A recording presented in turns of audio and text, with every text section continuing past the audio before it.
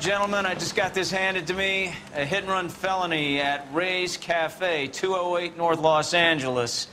Got a patrolman on site. The coroner's on his way. Get down there, see if you can find any witnesses who can put a make on the car. I want to make homicide. I mean, you know you've made it if you got that desk. I've been in this job 20 years. I never found anything. The women don't find you handsome? They That should was at least find you handsome. Still confess. I don't want to be rude, but I ain't got. You know the way. You can drive.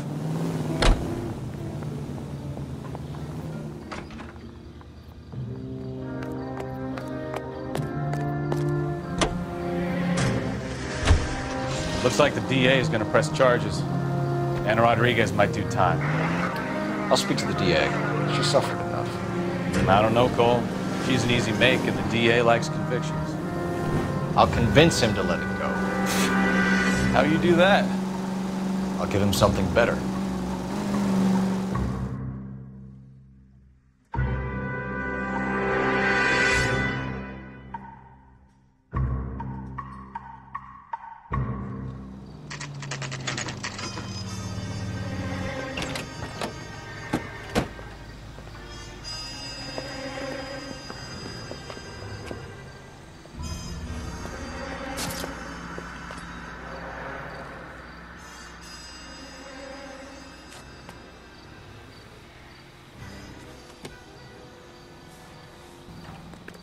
Detectives, over here. Cole Phelps, traffic. What have we got? Vic is a white male named Lester Patterson. Walked out of the bar and into the street. Car hit over there, and he ended up here. Dead on impact by the look of it. Have you canvassed the area? The only one with anything useful to contribute is a young lady over there. She lives above the bar. Name is Shannon Perry. No, it's not a stage name. 24 years old, she left Kansas to follow the Yellow Brick Road. Is that so? We'll take a formal statement later. Right now, we're going to take a look around. Phelps? You should take a look at the body. Poor guy didn't stand a chance. Landed on his face and ended up here. Car must have struck him from behind.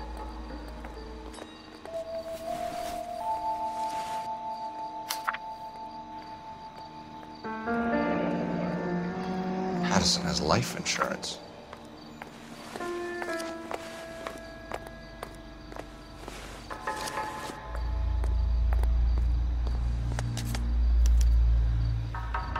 Notify next of kin.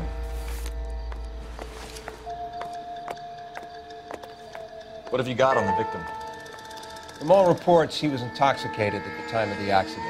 I'll know how intoxicated once I've done the autopsy. Looking him over now, I'd say he died on impact.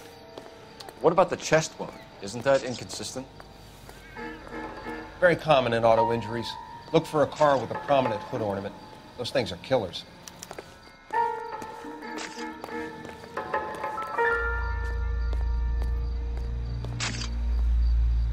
The body traveled a good 20 feet.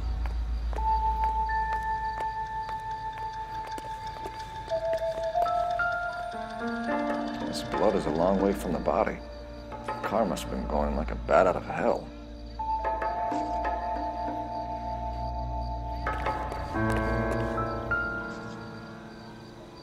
So the driver managed to brake before the impact. It's all yours. Miss Perry, Yes? I'm Detective Phelps. This is my partner, Detective Bekowsky. Can you tell us what happened? Well, I came to the window because I heard people arguing downstairs. And what happened? I saw a car hit that poor man and knock him down the street. What kind of car was it? A dark red Lincoln Continental. Did you see the license plate? Only the first three letters, I'm afraid. 3C8. Tell me more about the argument you heard. Well, there were two voices. A man and a woman. That's all. Why are you holding out on us, Miss Perry? I'm sorry. I was hoping to tell my story to the newspapers. I'd like to get my picture in the paper. Trying to find work as an actress, and things are pretty difficult. Cough it up, sister. We don't have all night. People arguing? They were husband and wife. I could tell by what she was yelling. Intimate things. Very embarrassing for the man. Thank you, Miss Perry. Your information has been very helpful. You can go now. You really think so? I hope you find that driver and put him away. You certainly got away with the dames, Phelps. Give it a rest, Bekowsky. Let's see what the patrons have to say. I'll take the bartender. You work. I'm Detective Phelps of the LAPD. How can I help, Detective? Name would be a good start. Dudley Lynch. Hired help. I run the place when the owner ain't around. Where is the owner? He stepped out. Somebody had to take Lorna, Mrs. Patterson, home. What can you tell me about the accident? Not a lot. He was busy in here, and all I heard was the impact. So what was he doing outside? It's against licensing regulations to drink on the sidewalk. Lester and Lorna were having a fight. The owner made him take it outside. It was pretty ugly. Do you know the victim? Yeah. Lester Patterson. He's a regular here, or he was. Not one of your favorite customers? Lester was special, but not my kind of special. Was Lester drinking alone? No. He came here with his wife. She didn't seem too interested in the booze, though. A witness overheard an argument. Lester and Lorna. There's nothing like airing your dirty laundry in public, is there? Why was Lorna Patterson in such a hurry to leave? What is going on here? Lorna was pretty upset, so Leroy took her home. Lorna and Leroy are close. They've been talking about opening a new bar. Leroy. Leroy Sabo, the owner. How long have Lorna and Leroy been talking about this new bar? Who knows? I just served the drinks. Bartenders hear all sorts of things. Are you going to tell me, or do we have to start playing rough? When Lester was drinking, he treated Lorna like dirt. He gambled away all their money. Lorna pitched Leroy about the bar. I don't know how interested he is. Is Leroy doing well? Hell no. The only thing keeping this place afloat are the poker games. Thanks for your help, Lynch. I'm going to need you to sign a statement with the patrolman. Sure, no problem. You get anything out of the regulars? They weren't giving too much away. They liked watching Lester and Lorna go a few rounds every other day. And Lester was a fan of the love tap.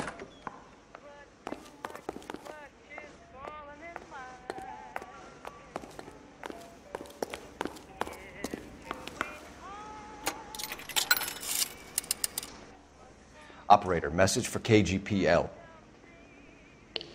Putting you through now. Phelps, 1247. How could I help, Detective? I need to run a partial license plate, 3 Charles 8. Cross check possible Lincoln owners. Suspect vehicle is a red Lincoln Continental. Just a moment, Detective. Only one possible make on that license. Registered to a William Shelton, 738 West Temple Street. Thanks, ma'am. Looks like we caught a break on this one.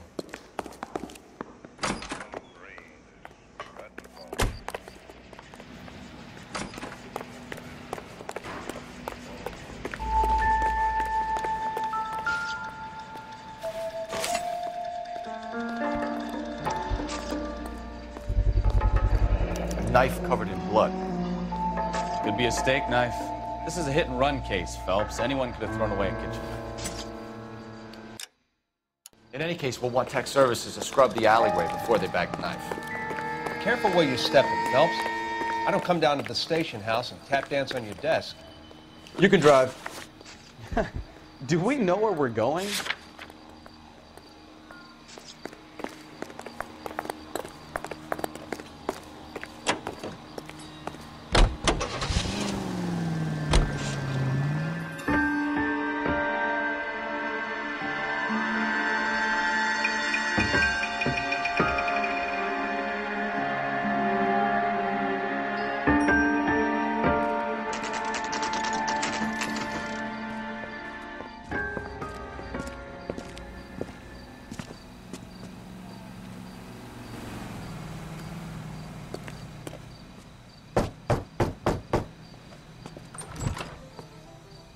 Yes? Hello? Mrs. Patterson. Is this about my husband? We're investigating the incident, ma'am. I see. Come in, won't you?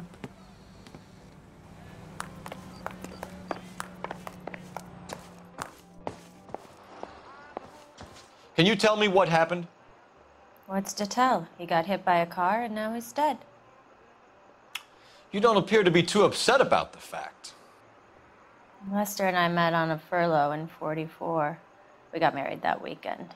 People don't understand it now, but that happened a lot back then. I see. So you probably did well to stick it out this long. What's that supposed to mean, mister? I think it's about time you left. I have someone here. I and beg your pardon? You're gonna have to run that one by us again, sister. It's okay, Lorna. I'm Leroy Sabo. Well, well. Nice to see you're comforting the grieving widow, Mr. Sabo. All right, wise guy. Do you have any intelligent questions you would like me to answer? You can confirm Mrs. Patterson's story. Lester lost at cards. He was kind of hard to control when he lost his temper. He turned without looking and walked right out in front of the car. It wasn't good. What's your relationship with Mrs. Patterson, Mr. Sabo? We're friends. Good friends. You expect me to believe that? Look, I was filing for divorce. Mental cruelty. Lester could be a mean son of a bitch. And Lester knew about that? No, I hadn't told him. Well, hasn't this worked out well for the two of you? I feel almost bad for busting in on this little rendezvous. How did the car come to hit Lester? He walked straight into the path of an oncoming car. You expect me to believe that, Lorna? It's all very convenient. Gambling for Lester was like the needle for a hophead. He was yelling at me, he was yelling at the whole world. I kind of felt sorry for the driver. Poor guy had no chance. You were arguing in the bar and on the sidewalk? We were always arguing. So what? Admit it, you were baiting him, pushing his buttons. We can easily get the full story from the regulars in the bar. All right. Lester was playing cards out back. He lost, of course, and wanted back in. He suggested I earn the money on my back to get a mistake. That was a proposition he was putting to his so called buddies. So maybe I was a little angrier than usual. Let's just say I took exception to his idea. The bartender said that you and Leroy were planning to go into business together. Can you explain how you'll get the money to do that? I have a little money saved away. Sabo has no money. This place can't be worth much. Where is the money coming from? My father left me this house and some money. Lester took out a second mortgage. I held on to the money and kept my mouth shut. And that's all I'm going to say on the subject. You and Mr. Sabo have an interesting day. I'm sure we will, officer. Now, if you could both just leave. We're leaving, ma'am. Sorry for your loss. I can see what a tough time you're having with all this.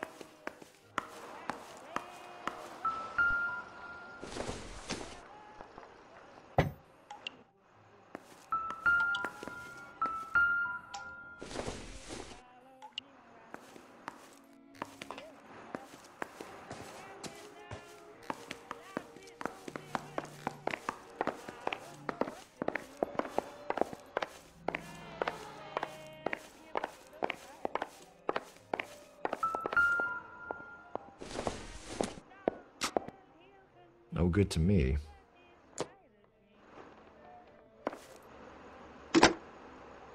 Operator, give me R and I. Putting you through now. Phelps, badge 1247. How could I help, Detective? Any messages? Just one detective from the coroner. Message reads Phelps, see me at Central Morgue immediately. Results of the Patterson autopsy. Thanks.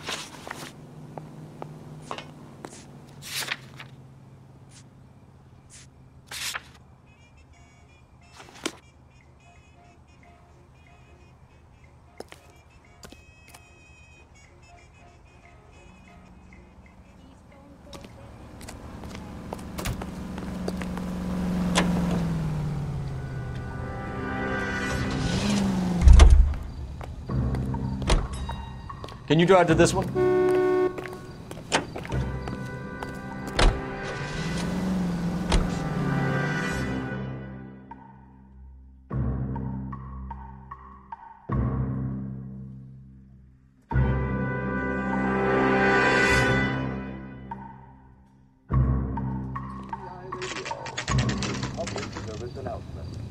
Juvenile delinquency is an ever-growing problem.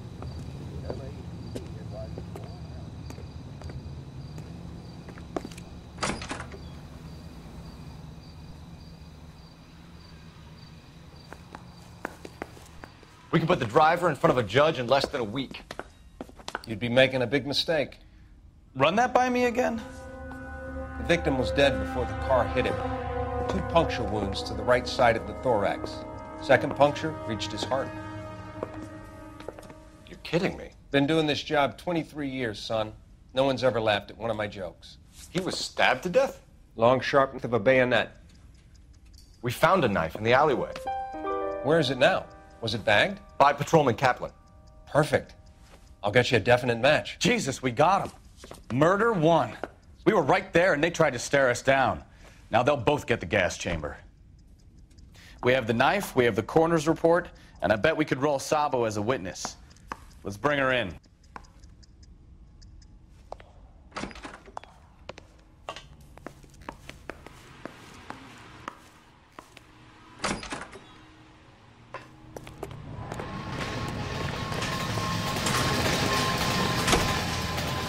You drive. I need to go over the case notes. So, where do you want to go?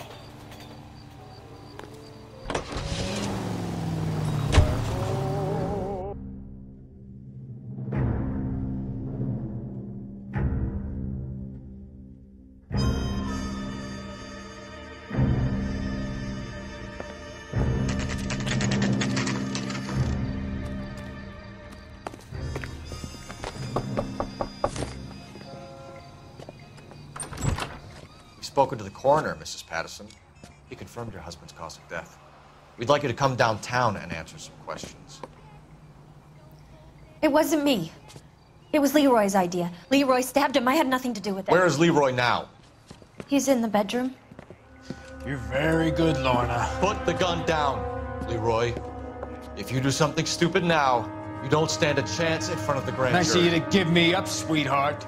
All that whispering in my ear telling me how we had to get rid of him, how good it could be, all the money we could claim, all that planning, how to get him into the street, how to make it look like an accident. For God's sake, you had Leroy, all shut the up. bases covered, baby. I had nothing to do you with it. You think I'm gonna fry for you, He's a Lorna? crazy man.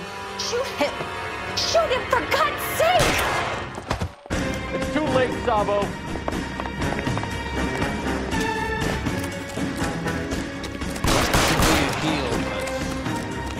That's a lousy blueprint. Next time, you're mine.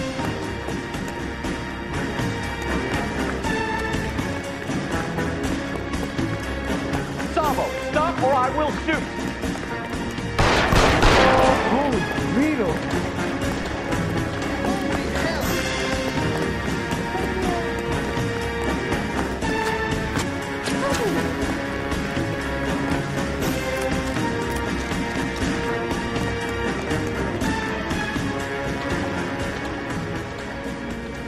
You stay back.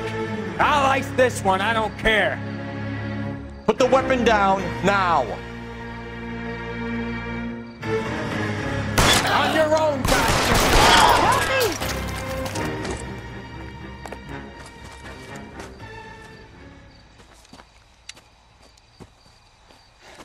You look spooked, Phelps. I thought you'd been under fire before. It never gets any easier, Bekowsky.